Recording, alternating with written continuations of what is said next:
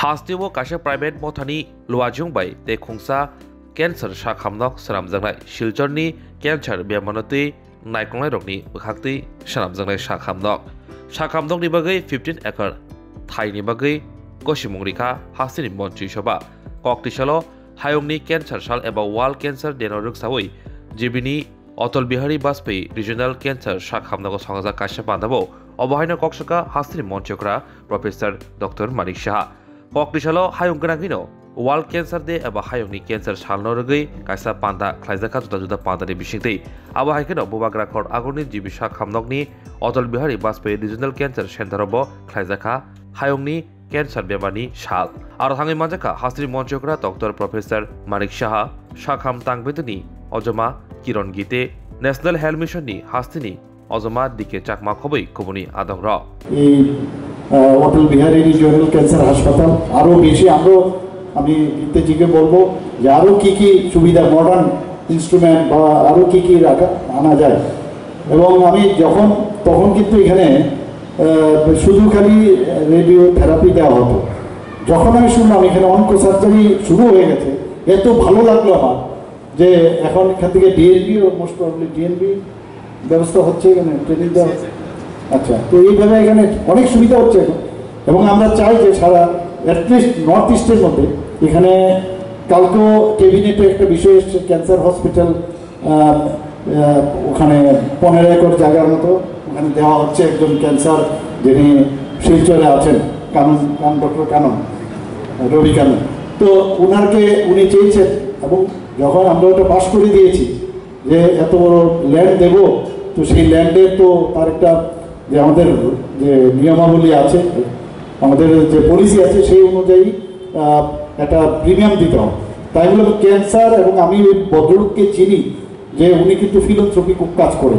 কাজে ওনাকে আমরা কোনো অবস্থায় কোনো ধরনের পয়সা নেব না। কালকে আমরা পাশ করে দিয়েছি ক্যাবিনেটে। সেটা যদি নর্থে হয়, তাহলে নর্থের লোকে খুব লাভ হবে। নর্থের সাথে কোনো কোটি আসবে।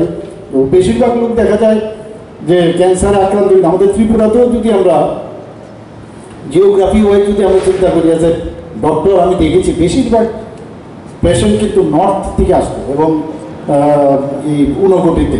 ওই ফুডিবি আপনি দেখবেন, কথা বলবেন, সে পান চিপ হচ্ছে, নেই তো আপনার বিটলনাট খাচ্ছে।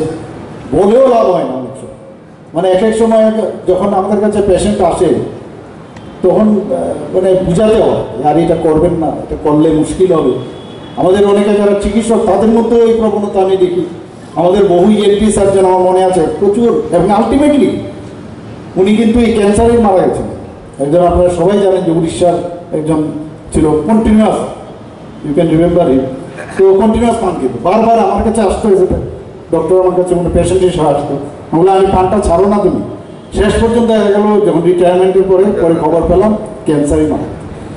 মানে এই যে সচেতনতা, উনি নিজেও হয়তো এই ধরনের ক্যান্সার পিরামিডে উপস্থিত ছিলেন এবং সবাইকে জ্ঞান দিচ্ছেন তো আমি একটা ঘটনা আপনাদের সামনে বলছি, যখন আমরা আমাদেরও ক্লাস করতে যেতে হতো, তো ক্যান্সারের সেই পিএমসিএইচ পাটনা মেডিকেল কলেজ সেখানে গিয়ে যিনি পড়াচ্ছিলেন রেডিও থেরাপিতে উনি বলছেন এফডিএস আর সিএস করেছিলেন।